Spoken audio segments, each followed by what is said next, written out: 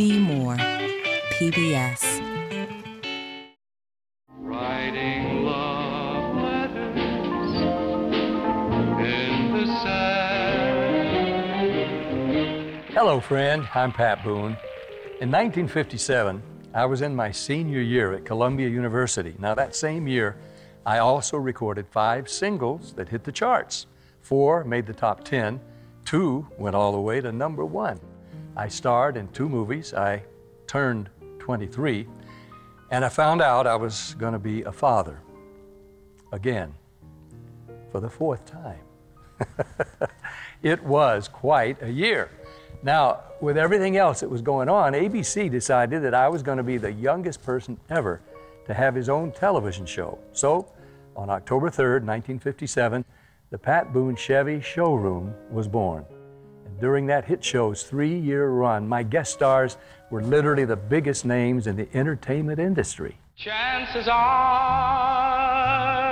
cause I wear a silly grin the moment you come into view. Chances are you think that I'm in love with you. Na,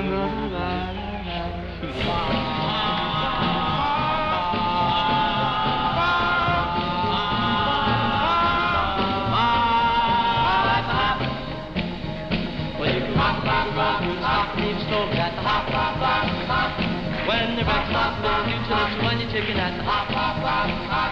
Do the dance the the hop. Let's go to the hop. Let's go to the hop, oh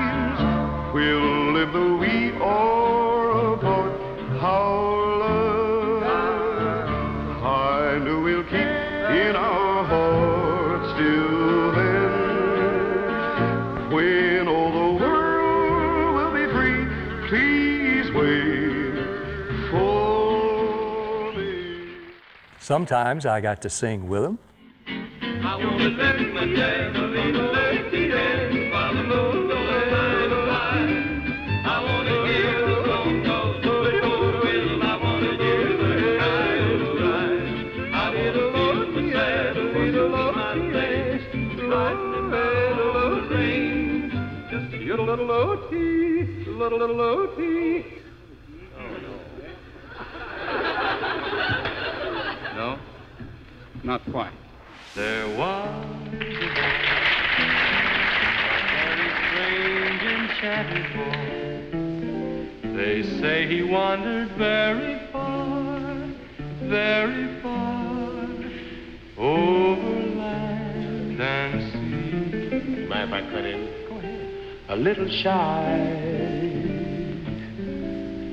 and sad of eyes, but very wise was he. And here I come again. Take the high notes. And then one day, that magic day he passed my way. And while we spoke of many things, fools and kings, this he said greatest thing you'll ever learn is just to love and be loved in return. Sometimes I got to sing all by myself. You made me cry when you said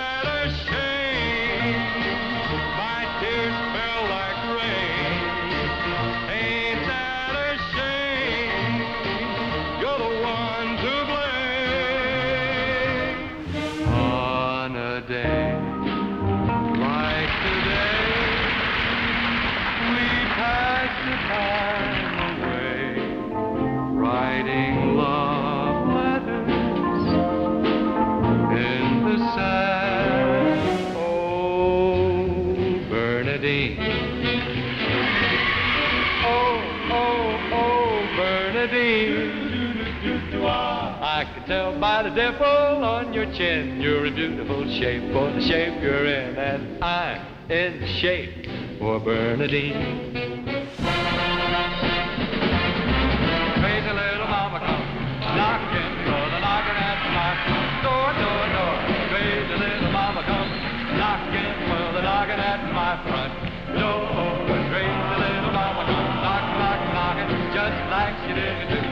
I really want to thank PBS for giving me this opportunity to share these television treasures with you.